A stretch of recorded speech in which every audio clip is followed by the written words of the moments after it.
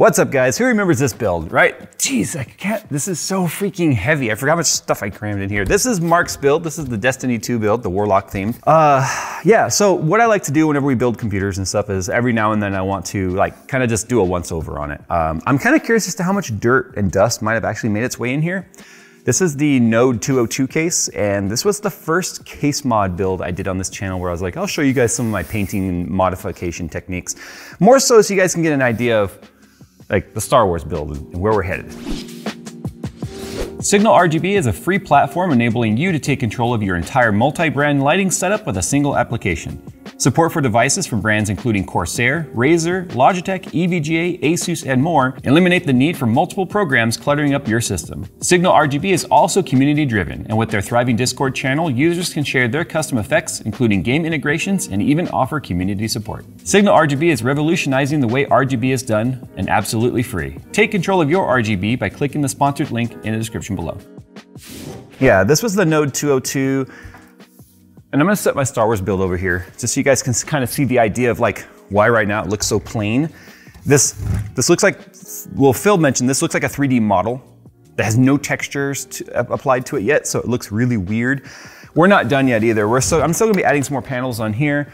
Um, I was commenting to Nick that something felt like it was missing and we need to add some more like 3D panels where we build this up a little more because I was like, this looks plain right here. So we'll be doing some more 3D paneling, building that up.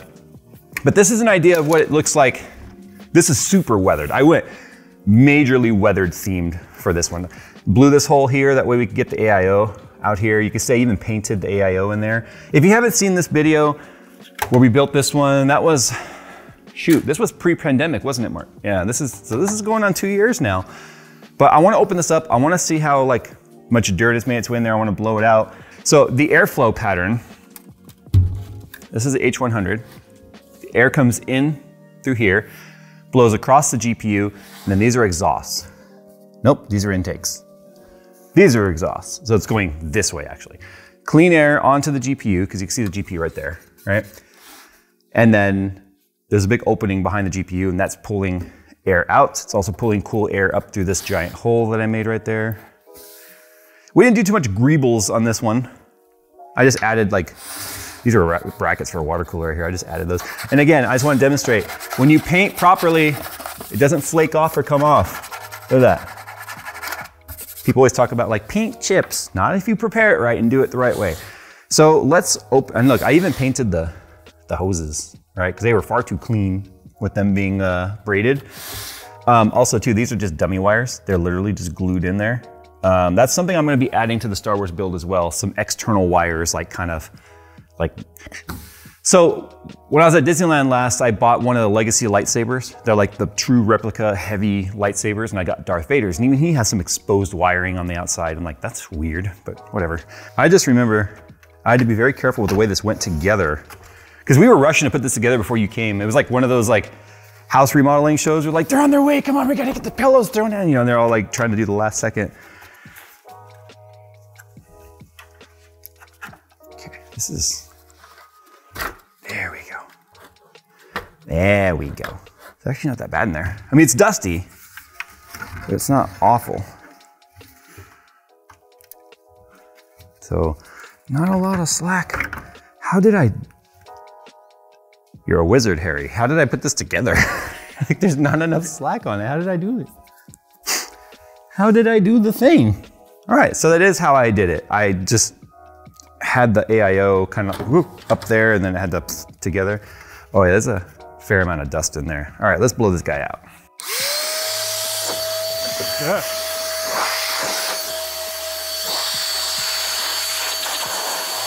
All right, so the, the, the, the, so the dust wasn't really all that bad, honestly. Um, there's some dust that's still kind of stuck to, remember there's some painted surface in here. It's really rough because I used this kind of a metallic paint. I just want to kind of give you guys a shot of the interior so you can kind of take appreciation for how much stuff we actually fit in here. So it's a Strix, uh, was it a Z5 or Z390 board. It's got a 9900K, um, 16 gigabytes of, I don't know how that scratch got in there. That's okay, just matches the theme. 16 gigabytes of Dominator Platinum, Capellix RGB, uh, obviously our Corsair power supply, which is an SF600, All the wires are over here. Here's our 2080 Super right here. Um, we do have a two terabyte NVMe SSD down inside of there. The AIO, which was what we absolutely needed to be able to get this to not throttle because 9900K is pretty hot. But you can see now how the air, you know, goes in to the graphics card side. And if you look at the gap we have right here, I'm sure people were like, but that probably means it wouldn't have fit or you know, it would be too close to the fans. There's a huge gap right here. So half the air bypasses the, cool, the cooler for the GPU, half goes into the cooler, and then the rest goes into the AIO. The AIO is situated at the top, pulling air out, so it exhausts the hot air through. Even warm air going through an AIO is better than stagnant air sitting in the case. So that is the layout for that. Um, I do want to do some temperature testing on this though, because I don't believe, I remember we did some before we gave it to Mark, but Mark was really excited to game on it and I wanted him to get it home and play with it that day. So I don't think we did much testing on it. When I tell you, this was literally like Tetris all in here. Uh, see, it's not terrible. You can see some of the dust right there on there. Ooh, look inside the vents though. That's why it's a little caked up in there. So interestingly enough, because the air from those fans blows directly on this graphics card, you can see the chrome plastic like insert on here actually pitted. That doesn't wipe off, that's actually pitted. You get pitted, bro. You got shwoopa. Ah. I do regret giving you this card though for one reason though, Mark. Because it's the only one I had. well, we're gonna be doing a lot of like legacy testing, if you will. We're going back and taking like old cards, and this isn't old, but I mean like from all the way back to like a thousand series and coming all the way forward. So you know what that means. All right, so I was gonna put a 3070 in there, but actually looking at the performance difference of the 2080 Ti versus the 2080 Super, 2080 Super is about 10% slower than a 3070, but a 2080 Ti is 26% faster. So this is, hey, 26% faster, buddy. This will fit in there though. I know that for a fact because the other one did. Look at this. It's just gonna be like doo doo doo doo doo doo doo doo doo doo do, do. Go to your home. Are you too good for your home? Now we got a 2080 Ti in here, which means now we really get to test how well the cooling works in this thing because faster means hotter. So now we are going to temperature test. So one thing I'm noticing is this fan right here, this is why I always test with software. I'm just go, oh, yeah, everything looks good. This fan right here um, was going much slower like visibly. I could see the blade turning really slow. It was only turning at 100 RPM. Uh, and you can see right here, if we look at iCUE, it's turning 750 RPM versus the other one's 1400 RPM. So fan one is going to the proper speed. Fan two is not, which means I'm gonna have to take this apart and make sure that it's all working. Let me check these fans. All right, so in terms of temps, our GPU is sitting at 68C right now. It's maxed out at 69 so far. That's really good. I mean, this cooler is known to get up near 80. The Founders cooler on the 2080 Ti, I remember, not a great cooler.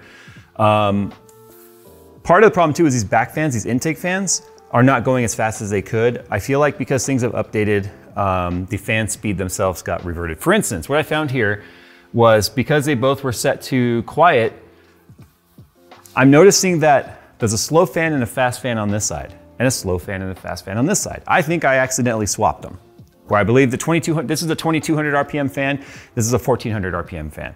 Same thing on the other side. So instead of having both 2200s on one side and a 1400 on the other side, or 1400s on one side, they're like crisscrossed. So what I did was actually balance them out a little bit here by putting the fast fan on balanced and the slow fan on extreme to bring them closer RPM wise. Um, temps are looking pretty good though. I mean, like I said, we're at 69 degrees, pretty much locked right there on the graphics card for this air-cooled 2080 Ti in this small case. Perfectly fine.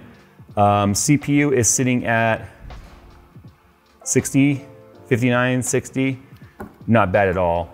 So what I wanna do now is I want to run like a Cinebench test because I wanna see what we end up going up to when we really load this CPU. I wanna make sure that none of the weird blue screen stuff that he was experiencing is related to maybe a spike in temperature.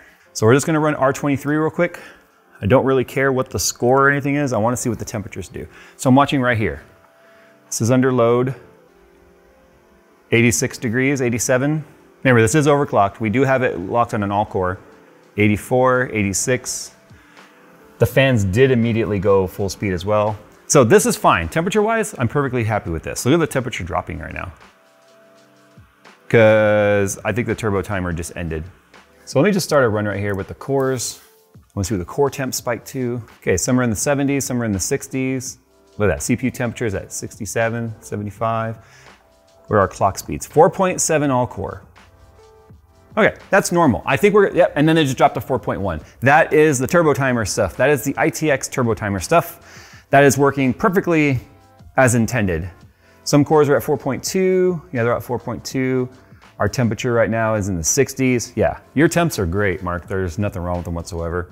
Um, so we can fix that though. We can make that stop doing that because we got plenty of cooling on this. We're gonna also restart into his BIOS because I wanna make sure that these fans that are hooked up to the motherboard are speeding up like they're supposed to.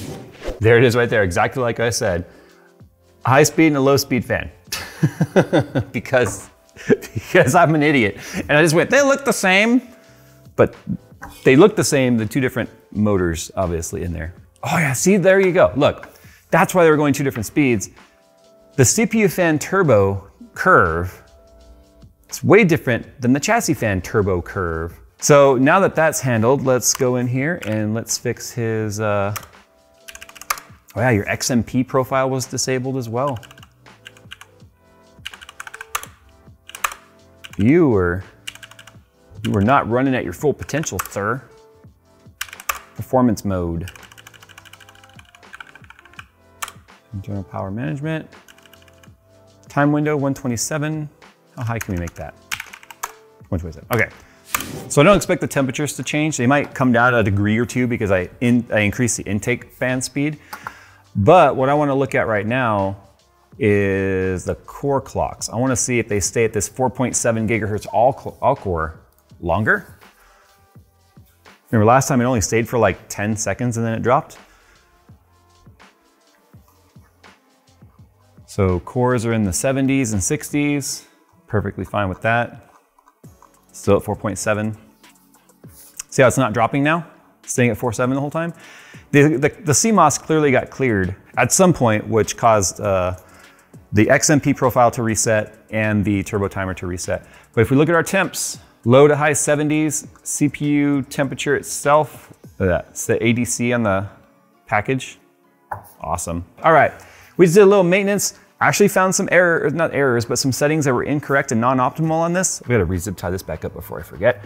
Um, got the fan sped back up where we need it, got the XMP profile re-enabled, which is also allowed uh, because of a turbo timer and, and, performance settings to keep the core clocks up. His FPS is gonna stay high, his temps are gonna stay low, and you guys are gonna stay subscribed so you don't miss any of our upcoming content, which December, we're bringing you a video every single day in December, which means we are gonna be busting our heads against this wooden table to bring you as much content as we can that's fun and exciting, and uh, hopefully you guys will enjoy it. So anyway, Mark, there you go. You got a GPU upgrade as well as a performance upgrade by clicking some buttons. Thanks for watching, guys, and as always, we'll see you in the next one.